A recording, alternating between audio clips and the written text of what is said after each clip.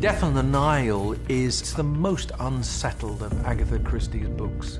She presents a veneer of sophistication, sexiness, glamour, and romance, but lust will turn into something darker, means that hatred and murder are never far from the center of things.